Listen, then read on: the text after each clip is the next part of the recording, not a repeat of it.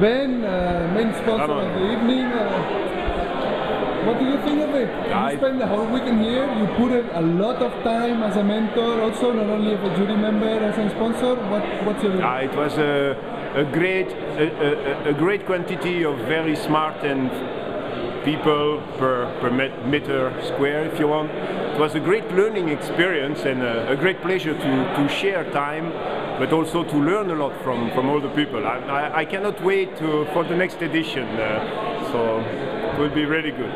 What shocked you the most? maybe some l- lack of developers. We could have more developers, so that's something maybe I I should think or we should think about.